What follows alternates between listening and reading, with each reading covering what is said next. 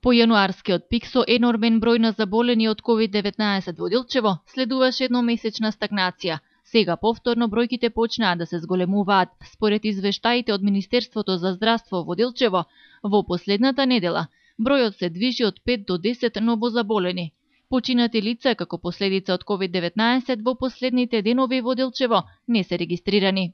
Ние во Делчево имавме едно лошо искуство, во јануар имавме многу собиранки Така да имавме еден на вистина тежок бран, имавме неколку неколку наших сограѓани изгубивме и тоа млади луѓе.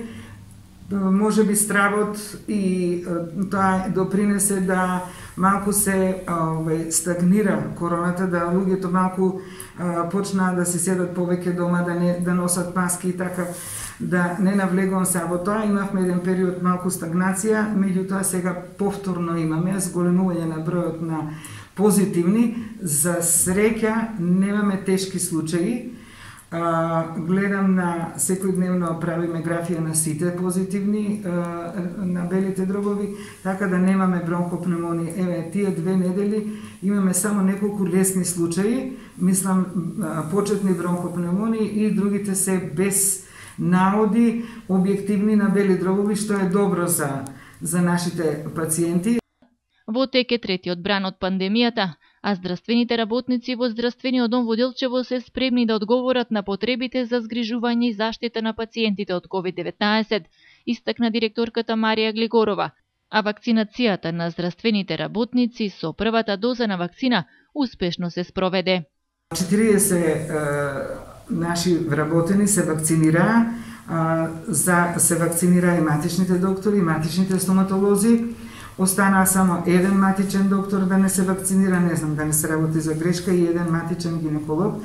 А, а, не влегле во системот. Нашите а, вработени ја примија првата вакцина, има лесни симптоми како за секоја вакцина. Очекуваме третиот бран, ние сме спремни како здравство, како здравствен дом, тоа што ние тука пружаме, знаете дека имаме и корона центар, имаме соби за изолација, каде што им взимаме и анализи, каде што ги уклучуваме уклучуваме терапија и нашите специјалисти, нашата брза помош и сите матични доктори. Отворени се вратите на здравствен дом за матичните доктори.